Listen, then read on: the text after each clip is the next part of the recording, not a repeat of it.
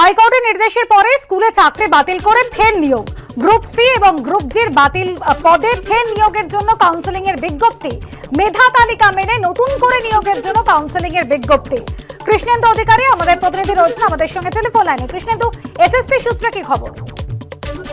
দেখো, কিছুক্ষণ আগে স্কুল সার্ভিস কমিশনের তরফে একটা বিজ্ঞপ্তি প্রকাশ করা হয়েছে এবং সেখানে বলা হচ্ছে যে আগামী সাতই নভেম্বর পুজোর পর নিয়োগের কাউন্সিলিং হবে গ্রুপ সি এবং গ্রুপ বি পদে।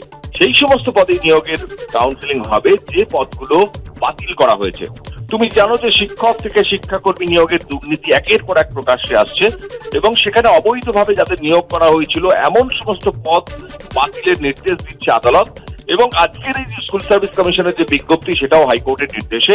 এবং যেটা জানা যাচ্ছে কমিশন সূত্রে যে গ্রুপ ডি পদে এরকম নিয়োগ অবৈধভাবে হওয়ার ফলে বাতিল করা হয়েছে পাঁচশো তিয়াত্তরটি পদ এবং গ্রুপ সি পদের সাড়ে তিনশো পদ। মোট নশো তেইশটি পদ যেখানে বাতিল করা হয়েছে এবং তাদের অবৈধভাবে নিয়োগ করা হয়েছিল, এই অভিযোগে বাতিল করা হয়েছে। এবং টিআইদের কাছে বা জেলা বিদ্যালয় পরিদর্শকদের কাছে, এ ব্যাপারে যাবতীয় তথ্য চেয়েছে স্কুল সার্ভিস কমিশন এবং এই বাতিল পদগুলোতে নতুন করে নিয়োগ যে যাতে হয় তার জন্য প্রক্রিয়া শুরু করেছে এবং সেই প্রক্রিয়ারই অঙ্গ হিসেবে আজকের হ্যাঁ, বিজ্ঞপ্তি এবং জানানো হয়েছে বিজ্ঞপ্তিতে যে সাতই নভেম্বর থেকে জেলা ভিত্তিক যে বিজ্ঞপ্তি মানে কাউন্সিলিং শুরু হবে। ধন্যবাদ কৃষ্ণেন্দু। স্কুলে নিয়োগে ব্যাপক দুর্নীতি ভোজবাজির মতো পাল্টে গেছে নম্বর। অসংখ্য অযোগ্যের চাকরি হচ্ছে বেআইনিভাবে। এসএসসি মামলায় আদালতে এমনই চাঞ্চল্যকর দাবি করল সিবিআই।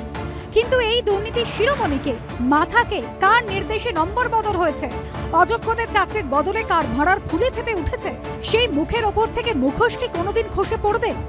এই প্রশ্নগুলি এখন ঘুরপাক খাচ্ছে রাজ্যের আনাচে কানাচে বুধবার এসএসসির তরফে আদালতে জানানো হয়েছে, নবম দশমে একশো তিরাশি জন প্রার্থীর নিয়োগ অবৈধ। এদের সকলের র্যাঙ্ক পরিবর্তন করা হয়েছে। এরপর বিচারপতি অভিজিৎ গঙ্গোপাধ্যায় বলেন, সুবীরেশ ভট্টাচার্য বা কল্যাণময় গঙ্গোপাধ্যায় কোনো ব্যক্তির নির্দেশ ছাড়া কাজ করতেন না। রাজ্যবাসী সেই ব্যক্তির নাম জানতে চায়। এদিন আদালতে সিবিআই বলে, কণ্ঠস্বর পরীক্ষার জন্য হেফাজতে থাকা একজন অভিযুক্ত নমুনা দিতে অস্বীকার করেছেন। সব অভিযুক্ত মুখ খুলছে না। এই অভিযুক্তরা সিবিআই এর কার্যপ্রণালী জানে। জিজ্ঞাসাবাদের জন্য সিবিআই বিজ্ঞানসম্মত পদ্ধতি অবলম্বন করে। তারা জানে যে সিবিআই থার্ড ডিগ্রির মতো কড়া পদক্ষেপ করে না। তখন বিচারপতি অভিজিৎ গঙ্গোপাধ্যায় বলেন, দুর্নীতির ব্যাপকতা আমাকে আতঙ্কিত করেছে। আমি সুবীরেশ ভট্টাচার্যকে চিনি। আমি এসএসসির আইনি উপদেষ্টা ছিলাম। আমার মতে তিনি একজন অত্যন্ত ভদ্রলোক। তার ছেলে এবং মেয়ে উচ্চশিক্ষিত এবং তারা বাইরে থাকেন। তার স্ত্রীও সম্ভবত অধ্যাপক। বাহ্যিক চাপ ছাড়া তিনি এই কাজ করেছেন বলে আমি বিশ্বাস করি না।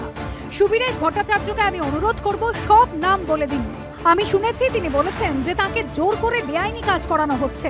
তিনি বলেছেন, আমি জেলে থাকব আর বাকিরা বেড়ে থাকবে, এটা হবে না।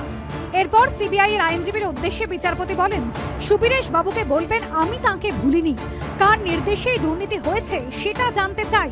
আমি বিস্মিত, বলার ভাষা খুঁজে পাচ্ছি না।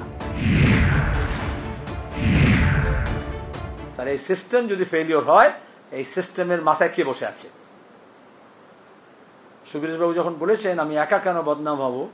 তো মমতা ব্যানার্জি তার যে নেত্রী সে তো বলে দিয়েছে আমরা সবাই চোর। যেমন উনি যদি সৎসাহস না দেখান তৃণমূলের একটা বড় অংশের লোকজন বলবে যে আমরা চোর নই চোরটাকে ধরো। যদি যেগুলি ঠিক সেগুলি ঠিক যেগুলি ভুল সেগুলি ভুল জেনে শুনে করলে অন্যায়। ফলে যদি ভুল হয়ে থাকে এবং অন্যায় হয়ে থাকে সেগুলি তদন্তে চিহ্নিত হোক এবং দোষীরা নিশ্চিতভাবে শাস্তি পান। এখন প্রশ্ন একটাই সুবীরেশ ভট্টাচার্য কি মুখ খুলবেন? নাম বলবেন? তাহলে কি বঙ্গ রাজনীতিতে আরও বড় ঝড় উঠতে পারে? সৌভিক মজুমদার, উজ্জ্বল মুখোপাধ্যায় ও রাজীব চৌধুরীর রিপোর্ট, এবিপি আনন্দ।